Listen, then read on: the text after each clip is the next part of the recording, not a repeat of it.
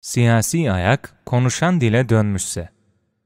İsteseniz de istemeseniz de bağımsızlaşacağız cümlesini kurduğunda bu cümlenin bedelinin ne olacağını kestirmekte güçlük çekiyorduk.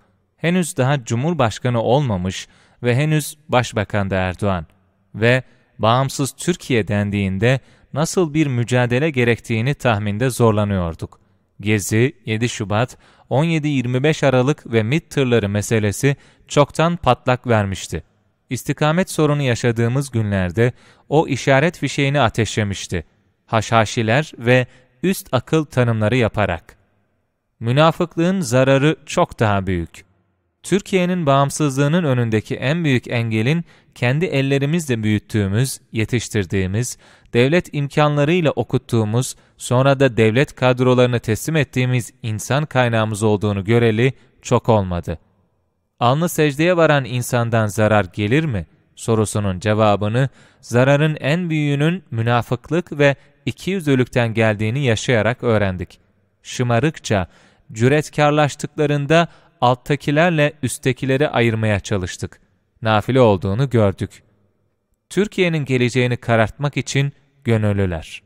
Türkiye'yi yıllardır meşgul ediyorlar. Gündemi kilitliyor ve belirliyorlar. Her defasında birilerinin arkasına sığınıp o sığındıklarının omuzundan karşıya ateş ediyorlar. Hiç yekten çıkıp ne istediklerini, ne talep ettiklerini dillendirmiyorlar. Çünkü münafıklığı ve ikiyüzlülüğü yaşam biçimi haline getirmişler. Darbe yapmaya bile kalkıştılar, onu bile adam gibi itiraf edemediler. Tek bir amaçları var. Türkiye'nin geleceğini üst akıla peşkeş çekmek. Türkiye'nin geleceğini karartmak için Türkiye düşmanı ne kadar aktör varsa onlarla işbirliği yapıyorlar, gönüllü fedailiğe soyunuyorlar. Tayyip Erdoğan'ın uluslararası dolaşım süresi bitti düşüncesini öyle bir satın aldılar ki sormayın. O günden sonra ibadetle uğraştığını sandığımız alttakiler gece gündüz beddua seansları düzenlediler. Ölsün diye tesbihat çektiler. Oradaki ticaret erbabı sandıklarımız paraları Türkiye karşıtlarına akıttılar. Üstteki ihanet şebekesi ise dünyanın bütün karanlık odaklarıyla neredeyse aynı yatağa girdiler.'' Tayyip Erdoğan sonrasını satın almak için ihaleye gönüllü taşeron oldular. Aslına bakarsanız Türkiye'nin Suriye sorununun arkasındaki güç de FETÖ'ydü. Bunu da anlamakta güçlük çektik. Sahi Semih Terzi kimdi ve hangi mıntıkadan sorumluydu? Bu sorunun cevabı bile bize bir şey söylüyor elbet. FETÖ hala operasyon çekiyor. Neydi, ne oldu sorusundan çok 15 Temmuz bağlamında baktığımızda FETÖ terör örgütü, Türkiye'nin tarih yürüyüşünü durdurmak isteyenlerin kullandığı bir maşa olarak içimize akıtılmıştır.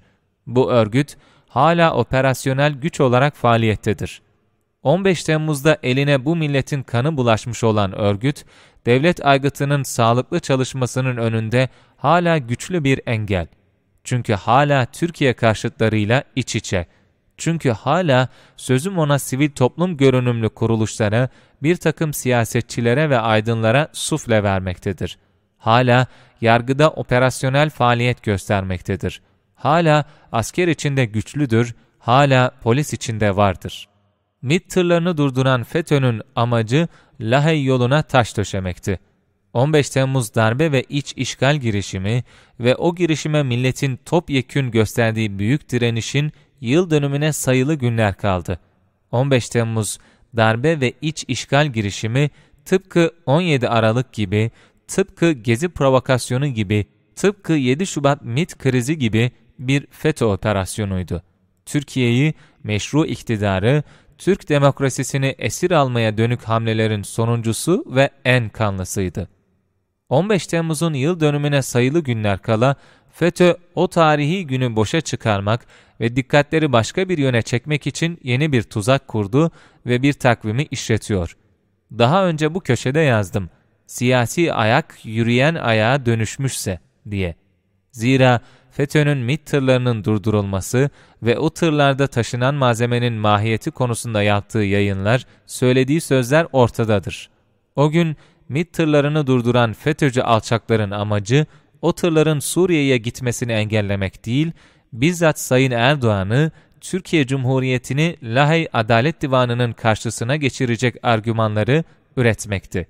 Ve o argümanları o günde bugün de bir siyasi parti liderinin kulağına üflüyor. Kılıçdaroğlu. FETÖ'nün konuşan dili Kılıçdaroğlu olmuşsa, CHP ya da daha çok CHP lideri Kemal Kılıçdaroğlu demek gerekir, FETÖ'nün ürettiği tüm yasa dışı montaj tapelerini ve argümanları diline doladı. Olmadı. En son 15 Temmuz darbe ve iç işgal girişimi için FETÖ'nün ürettiği kontrollü darbe çıkışı yaptı, olmadı. Şimdi de MİT tırlarının görüntülerini Can Dündar'a ulaştıran CHP milletvekili Enes Berberoğlu'nun aldığı mahkumiyeti bahane ederek sözüm ona adalet yürüyüşü adıyla İstanbul yolundalar. Hepimiz şunun farkındayız. Kılıçdaroğlu'nun genel başkan olma sürecindeki aktörler kimse, Kılıçdaroğlu'nun yolsuzluk dosyaları diye elinde salladığı boş klasörlerin asıl sahipleri kimse, Kılıçdaroğlu'nun Erdoğan'ın Cumhurbaşkanlığını önlemek için geliştirdiği çatı aday formülünün asıl aktörleri kimse. Adalet başlıklı yürüyüşün arkasındaki asıl aktörler de onlardır. Zira CHP dışındaki halk düşmanlarını bir araya getirme çabasının arkasındaki güç de aynıydı. Bu güç FETÖ'dür ve FETÖ hem 15 Temmuz ruhunu vurmak istemektedir, hem Gezi'de eksik bıraktığı kalkışma hayalini gerçekleştirme peşindedir. 15 Temmuz, bu milletin emperyalistlere ve onların maşalarına verdiği en büyük derstir. Gereken mesajı, gerektiği kadar almayanlarla hesaplaşmak, gerekirse bu millet yine gereğini yerine getirecektir. CHP'nin vatanseverlerine duyurulur.